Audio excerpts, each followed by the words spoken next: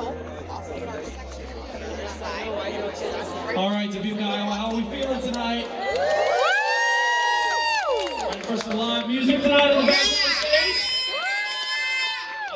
name is Steve Pulaski. I'm with Y105 Town Square Media Dubuque. I want to thank you for being out here supporting live music tonight.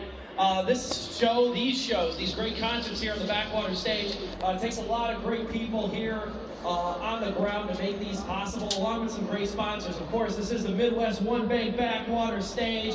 We are fueled by Quick Stop. Got Conlin Construction, Geezy Roofing, Turpin Dodge, Lime Rock Springs Pepsi. We got a lot of great people making these shows possible. Check out backwaterstage.com. Still got some more concerts on deck for throughout this summer. We got Ice Nine Kills taking the stage tomorrow. We have got Riley Green at the end of the month and Disturbed as well. Backwaterstage.com for all that information and all those tickets. We ready for some great sounds of Jason Isbell. Coming up in just a few, we've got the opening act. We've got Shemekia Copeland. She's taking the stage.